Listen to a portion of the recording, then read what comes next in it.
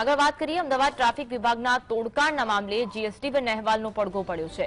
જીએસટીવીએ અહેવાલ પ્રસારિત કર્યા બાદ ટ્રાફિક ડીસીપી પૂર્વ દ્વારા તપાસ તેજ કરવામાં આવી. સમગ્ર મામલે તપાસ ક ડિવિઝન ટ્રાફિક એસીપીને સોંપવામાં આવી.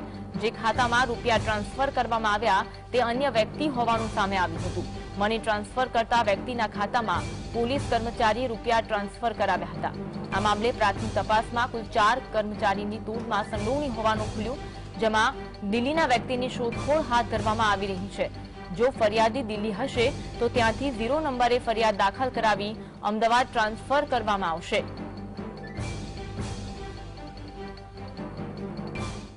આજ અંગે વધુ વાત કરીશું. સમતા વિરેન્દ્રસિંહ અમારી સાથે લાઈવ જોડાયા છે. વિરેન્દ્ર, ચાર લોકો, ચાર કર્મચારીઓના નામ ખુલ્યા છે. હાલમાં તપાસ કરવામાં આવી રહી છે. તપાસને લઈને શું અપડેટ છે?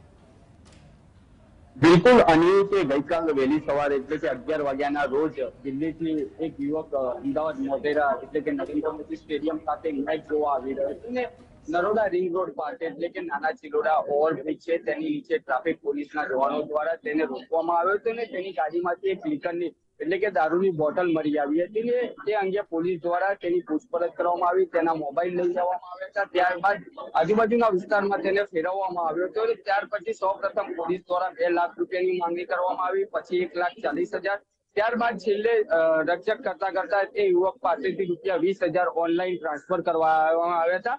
તેમજ આ જે અહેવાલ હતો તે જીએસટીવી દ્વારા પ્રસારિત કરવામાં આવ્યો હતો. ને હાલ તો ટ્રાફિક ડીસીપી પૂર્વ એટલે કે સફી નસીમ દરવા તપાસનો ધમધમાટ શરૂ કરવામાં આવ્યો છે ને જે આની અંદર જે ચાર પોલીસ કર્મચારીઓ છે તેની વિરુદ્ધ તપાસ ક ડિવિઝન એટલે કે કે ડિવિઝન ટ્રાફિક એસીપી આપવામાં આવી છે. તેમજ જે પૈસા ટ્રાન્સફર કરવામાં આવ્યા હતા, તે પૈસા અન્ય યુવકમાં ટ્રાન્સફર કરવામાં આવ્યા હતા. તે અંગે પણ હાલ તો એસીપી કક્ષાના અધિકારી દ્વારા તપાસ કરવામાં આવશે. તેમજ આ લોકો વિરુદ્ધ કેવા પ્રકારની કાર્યવાહી કરવામાં આવે છે, તે તો એક સમયનો વિષય છે. પરંતુ આ પહેલી વખતનો બનાવ નથી અન્વી. આ અગાઉ પણ અનેક પોલીસ કર્મચારીઓ દ્વારા તોડકાંડ કરવામાં આવ્યા છે અને અનેક પોલીસ કર્મચારીઓ દ્વારા ઉપર ગુના પણ દાખલ કરવામાં આવે છે. ત્યારે હાલ તો શહેર ટ્રાફિક પોલીસ દ્વારા તે પણ જણાવવામાં આવ્યું છે કે ઝીરો નંબરથી દિલ્હી ખાતે જે ફરિયાદ દાખલ કરવામાં આવી તે યુવકની હાલ શોધખોળ શરૂ થઈ છે.